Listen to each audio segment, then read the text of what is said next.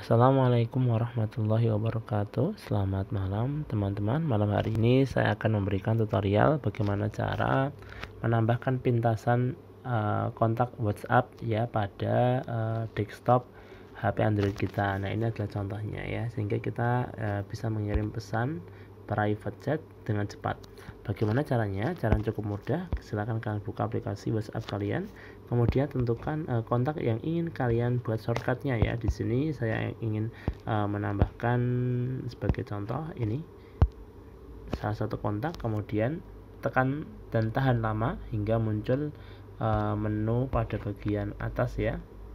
Kemudian silahkan kalian pilih pengaturan pada sudut kanan atas kemudian silahkan kalian pilih tambahkan pintasan chat ya. Nah kamu jika sudah silahkan kalian tekan dan tahan lama pada uh, icon uh, kontak WhatsApp kalian. Uh, seperti ini. Maka akan muncul pada uh, desktop HP Android kalian ya.